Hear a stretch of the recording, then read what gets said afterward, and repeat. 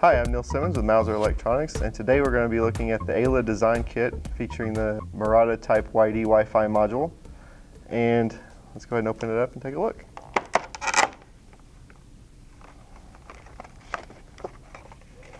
As you can see, the this Ayla design kit featuring the Murata Type YD Wi-Fi module has a lot going on.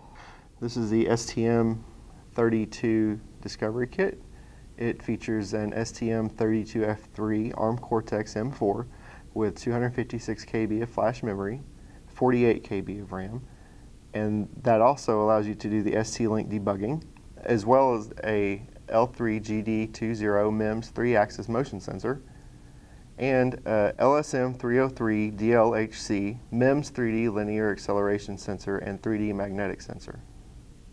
It also features a Murata Type YD certified Wi-Fi cloud connectivity module with a Broadcom BCM 43362 chipset and an ST Microelectronics STM F205 ARM Cortex M3. And one of the best features of this board is the Ayla connectivity, which gives you uh, which they provide cloud services for this board, and that will give you uh, two-way communication with the board for your applications or for a web interface.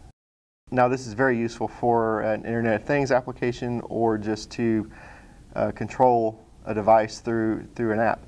What Ayla gives you is the app and UI development resources along with an API and sample code and software libraries to help you with iOS and Android development as well as web apps. And that is the Ayla design kit featuring the Murata Type YD Wi-Fi module. I uh, hope you've enjoyed the video and let us know what you plan to build.